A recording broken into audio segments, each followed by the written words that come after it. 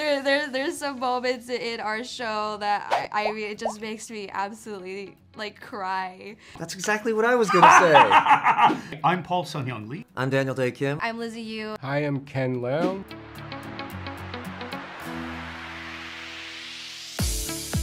We're going to, like, the, like the star signs of like I'm a I'm a water sun, I'm an earth moon. I think I'd be an earthbender because I'm afraid of heights, so airbending would like totally messed me up.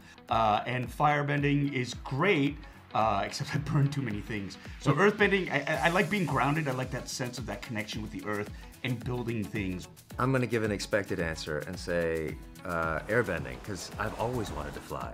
If there was time bending, that would be the bending skill that I would really want, to be able to manipulate time.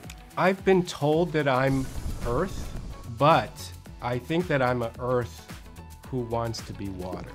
Earth is kind of very grounded. very organized, it's very grounded, where water is, is very emotional and Mm-hmm. wants uh, contact with people. Or I think Earth is okay not having so much contact with people. and so I think I am that, but I want to want contact with people. Right, right, so right, I'm, right, right. I'm I'm a longing Earth. I usually say water. you're Yeah, water. I, I would like. I just think like the sub bending of water is really cool. So I probably want to be water.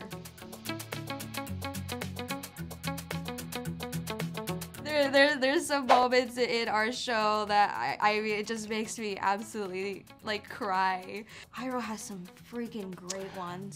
The, the the one from the animated series that, that I know for sure is from the animated series that I really hold on to is like, it now is the time to ask, you know, who you are and what do you want. That's exactly what I was gonna say. the show is about uh, there's a lot of themes that are that are explored lost and this and that but self-discovery is another one and I, I love that quote from Iroh because it comes down to that when it's brass tacks who who are you and what do you really want It's a question you can ask as a kid. It's a question you can ask as a grown-up. You know, these are these are questions that you ask throughout a lifetime.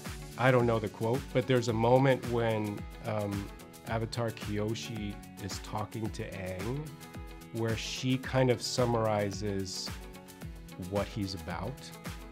Um, and it's so succinct and it kind of summarizes his whole purpose in the show. The why of it is maybe not so clear. She succinctly um, articulates the why of it.